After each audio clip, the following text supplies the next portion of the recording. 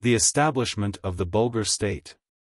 A political void existed in the Balkans during the second half of the 7th century following the successive blows of Avar depredations, Slav settlement, and imperial military, administrative, and economic contraction resulting from the empire's losses to the Arabs in the east. Into that Balkan void rode the Bulgars in the late 670s. The Bulgars were a confederation of steppe nomadic Turkic tribes who formerly were part of successive tribal confederations centered on Ukraine, particularly those headed by the Gok Turks and the Avars. Those associated with the Gok Turks were reduced to Khazar tributaries in the 630s, while the Bulgar tribes previously tied to the Avars broke away after the Khaganate's defeat before Constantinople. One of the latter was the Onogur Bulgars, led by Han, ruler, Kubrat, 605-65, who established the mixed ethnic confederation of Great Bulgaria in the northern Caucasus and the southern Ukrainian steppe. In 635 Kubrat drove the Avars from his lands and forged friendly relations with eastern Rome. Another Bulgar rebellion against Avar control was led by the chieftain Kuber, circa 675 circa 88, in the late 670s. He headed a tribe of mixed ethnicity, composed of Avar war prisoners, in Slavonia. Kuber rebelled and led his small force south into the Central Balkans, where they settled in northern Macedonia. Although his followers were a mixed bag of Bulgars, Thracians, Illyrians, and possibly Franks, the imperial authorities collectively identified them as Bulgars. Kubrat's Great Bulgaria was shattered by the Khazars in the early 640s, and, on his death, leadership of the Bulgar tribes was divided among his surviving sons. One tribal group moved northeast and settled in the upper Volga-Kama River region, becoming the future Volga-Bulgar state.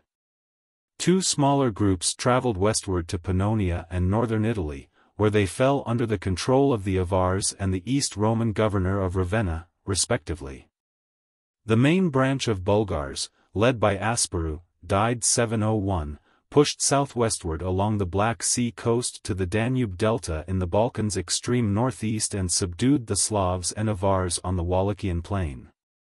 Sometime in the late 670s Asparuh's Bulgars crossed the Danube into Dobrudza, a region nominally under imperial authority, where they built a fortified encampment and settled. Despite previous good diplomatic relations between the Eastern Empire and Asparuh's father Kubrat, Emperor Constantine IV, 668-85, felt ill-disposed to lose even a small portion of his already shrunken imperial territory to the intruders. He attacked the Bulgars with the limited military forces that he could muster, hoping to expel them from their bridgehead south of the Danube, but he was defeated. Unable to keep his military away for long from the more vital Anatolian front against the Arabs, Constantine signed a peace treaty with Asparuh in 681. By the agreement's terms, the emperor officially recognized the existence of a Bulgar state in Dobrudza. Asparuh was granted control over Moesia between the Danube and the Balkan Mountains, and the empire undertook to pay the Bulgar ruler an annual tribute. The treaty was signally significant. Throughout the previous decades of turmoil in the Balkans, the empire never relinquished its claim to nominal control of the entire peninsula. Now, for the first time, the empire surrendered specifically designated regions to outsiders. Asparuh's Bulgar state became the first barbarian state to receive official recognition in the Balkans, and in Eastern Europe. Little is known concretely about the early Bulgar state. It seems it was typically Turkic steppe nomadic and ruled by an autocratic Khan, a title associated with the sky god Tengri and directly inherited from the Gok Turks. Another Gok Turk association was the ruling clan's name, Dulo, a leading clan among the Western Gok Turks. Also typical was the Bulgars' political structure, with authority divided between inner and outer clans and all Bulgars elevated above the non-Bulgar tributary populations, who initially participated in the state only as subjects. In Asparuh's state, the tributaries mostly were Slavs, most of whom were collectively known as the Seven Tribes, living on the Danubian plain in Moesia. Further evidence culturally linking the Balkan Bulgar state to Turkic steppe traditions was the layout of the Bulgars' new capital of Pliska, founded just north of the Balkan Mountains shortly after 681. The large area enclosed by ramparts, with the rulers' habitations and assorted utility structures concentrated in the center, resembled more a steppe winter encampment turned into a permanent settlement than it did a typical Roman Balkan city. There is evidence for late Roman-slash-Byzantine cultural influences on the early Bulgar state. Asparuh's father Kubrat had been an imperial ally and had received an official court ranking, Patrikios. Kubrat may even have been baptized an Orthodox Christian on a visit to Constantinople as a child, although Asparuh and his followers were staunchly pagan. Kuber, probably one of Asparuh's brothers, unsuccessfully attempted to preserve his ephemeral state in Macedonia by tying himself to imperial clientage. The fact that Asparuh received an annual subsidy from the empire confirmed his position as a tributary client of the emperor, in many respects similar to his father's previous situation. Additional evidence for Roman-slash-Byzantine influences in the early Bulgar state were stone commemorative inscriptions carved during the early 8th through 9th centuries. These mostly were written in Greek, using Greek letters rather than Turkish runes. Their content included names of Bulgars bearing Roman-Byzantine titles, Roman-Byzantine terminology, and Roman-Byzantine dating systems. Apparently the Bulgars commonly mimicked some political and administrative imperial models, maintained close direct relations with the imperial court, and, given their own low level of literacy, used some Hellenized subjects as functionaries from an early date. Both the Turkic and the Roman-slash-Byzantine traditions helped shape a viable Bulgar state. The former provided an elite warrior ruling class headed by an autocratic Khan. Their responsibility was to uphold the ruler's undisputed central authority, defend and expand the borders of the state, and ensure that the subject populations remained loyal and productive. In return, the ruler guaranteed their dominant position within the state, their monopoly on all important governing military offices, and their well-being vis-a-vis their peers and others. The latter tradition imparted an imperial ideal to the rulers that was geared toward fashioning a sedentary, sophisticated state, which could take advantage of skills possessed by its non-Bulgar subjects. Such skills were reflected in record-keeping, court ceremonies and bureaucratic talent. Together, the two traditions forged a Bulgar state in the true sense of the word. The borders of Asparuh's state stretched from the Black Sea in the east to the northern bend of the Balkan Mountains in the west, and from the Carpathian Mountains and Dniester River in the north to the Balkan Mountains in the south, encompassing the regions of southern Bessarabia, Dobrudza, Wallachia, and Moesia. The Bulgars acquired a string of imperial Danube frontier fortresses, including Vidin, Bononia, Nikopol, Nicopolis, and Silistra, Durostalon, but they seem to have died out, with their ruins serving as quarries for new Bulgar towns built close by. The important Black Sea port of Varna, Odessos, remained under imperial control. See Map 3.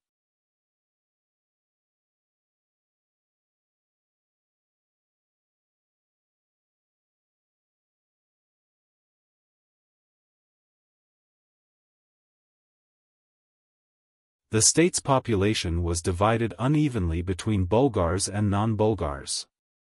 The number of Bulgars was low probably no more than 10,000 warriors and their families, generally concentrated on the Danube's southern bank and throughout Dobrudza. They conducted a mixed pastoral and agricultural economy and established a lively barter trade with imperial territories to the south. The non-Bulgars constituted the majority population and consisted of sedentary Slavs living in villages and pursuing agriculture, providing infantry forces and paying tribute in kind to their Bulgar overlords. They lived in tribal groups led by native chiefs, who gradually were admitted into the ruling elite's lower ranks. Some Slav tribes on the state's peripheries were more Bulgar tributaries than outright subjects. Almost nothing is known about the continued existence of Hellenized Thracians and Dacians in the state's territories. Initially the Bulgars maintained their own settlements segregated from the subject Slavs. The inevitable ethnic interbreeding, however, apparently began at an early date. Within a decade of its establishment, the Bulgar state began to play an important role in Byzantine Balkan affairs. Using new theme forces introduced into the Balkans by Emperor Constantine IV, in 688 Constantine's heir Justinian II, 685-95, 705-11, set out to punish the Slavs and Kubers Bulgars, in the region around Thessaloniki. Although he succeeded in subduing a number of Slav tribes, he was ambushed by Kuber and lost most of his army, prisoners, and booty. Asparuh, at peace with the empire, did not intervene in the campaign. Soon thereafter Justinian II was deposed and banished. After a decade in exile, in 705 Justinian enlisted the military aid of Bulgar Han Tervel, 701-18, whom he considered a client, and won back his throne in Constantinople. In a display of official gratitude, Justinian brought Tervel to the imperial palace, where he was invested with both a court robe and a high ceremonial imperial rank, enthroned next to Justinian, and received the obeisance of the imperial court hierarchy. Tervel's treatment by Justinian was more display than true sentiment. Justinian quickly tired of paying the annual tribute to the Bulgars stipulated in the 681 treaty and prepared for war. Forewarned of the emperor's hostile intentions, Tervel unleashed a surprise attack on the empire and thwarted Justinian's plans. When Justinian was overthrown for a second time in 711, Tervel used the occasion as grounds for ravaging the empire's Thracian territories until a treaty was signed with Emperor Theodosios III, 715-17, in 716.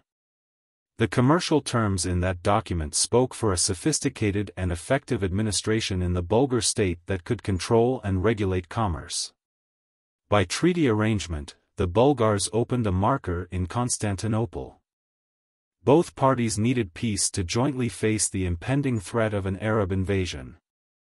In 717 that invasion materialized, and the Arabs laid siege to Constantinople the Bulgar-Slav troops sent by Tervel proved instrumental in forcing the Arabs' withdrawal.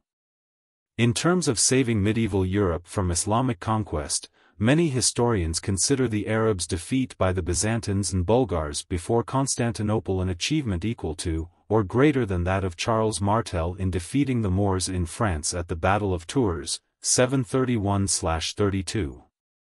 Affairs in the Bulgar state are sketchy for the half-century period following Tervel's reign. With the death of Han Savar, 725-39, the House of Dulo ended and a civil war erupted between two factions of Bulgar warrior aristocrats, Boyars. One side held a pro-Byzantine stance, advocated peace with the empire, and may have been allied with Slav tribal leaders. The other side was anti-Byzantine, sought war with the empire, and may have been committed to preserving exclusive Bulgar elite status within the state. It appears that the peace party dominated until 755 and the war party thereafter. The Byzantine authorities apparently knew little about the workings of Bulgar society and generally treated the Bulgars with contempt, hostility, and fear. Expediency alone had led them to recognize the Bulgar state on what they still considered imperial territory, and they bided their time hoping for an opportunity to destroy them. The chance came in the mid-8th century when the Bulgars' internal civil strife coincided with the fall of the Arab Umayyad imperial dynasty, which freed Anatolian military forces for use against the divided Bulgar state. Between 756 and 775 Emperor Constantine V, 741 to 75, conducted a series of nine wars against the Bulgars in which he oftentimes came close to obliterating their forces. Yet despite consistent victories in the field, Constantine failed to destroy the Bulgar state. It survived because, protected on the south by the ramparts of the Balkan Mountains, its core northern territories remained unconquered. The rise of the Arab Abbasid Caliphate in the east generally kept Constantine's successors preoccupied throughout the remaining quarter of the 8th century, but warfare in the Balkans did not completely cease. Emperor Constantine VI, 780-97, and his mother Empress Irene, 797-802, conducted Balkan campaigns whenever possible, targeting small Slav tribal groups, whom the Byzantines collectively called Sclaveni, in hopes of winning easy military victories for propaganda purposes in the capital. Their operations focused on regions well away from Bulgar interest, such as Thessaly, Attica, the Peloponnese, and Thessaloniki, and intentionally avoided any serious engagement with the Bulgars. One of Constantine's and Irene's campaigns did, however, initiate the successful Byzantine recovery of the Greek south. In 782 and 783 the eunuch general Stavrakios attacked the Slavs near Thessaloniki, marched southward through Thessaly, winning victories against Slav opponents along the way, and raided into the Slav-held Peloponnese.